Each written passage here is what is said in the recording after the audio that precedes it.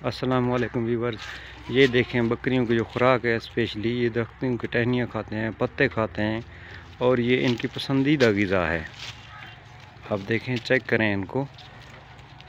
अब ये कितनी खुशी के साथ और कितनी मेहनत और लगन के साथ खा रहे हैं इसको। इसके अंदर कांटे भी होते हैं, लेकिन कांटों की परवाह किए बगैर ये इनको खाते हैं, क्योंकि इनकी गज़ा में शामिल हैं। ये इसकी गज़ा का हिस्सा हैं। ये बकरियाँ बड़े, छोटे, ये सभी खा रहे हैं। आप देखें गौर से ज़रा इनको। ये देखें, ये छोटे छोटे बच्चे हैं, ये भी इसी तलाश के अंदर हैं। और ये बकरियाँ, ये बड़े, ये सब खा रहे हैं इसको।